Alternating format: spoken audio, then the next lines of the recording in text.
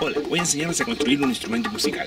Vamos a necesitar maderas, pegamento, una sierra eléctrica. Cortamos la madera en trozos pequeños.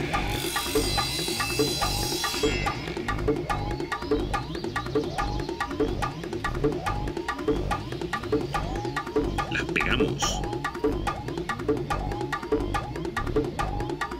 Las unimos. Diferentes maderas con diferentes densidades y diferentes sonidos.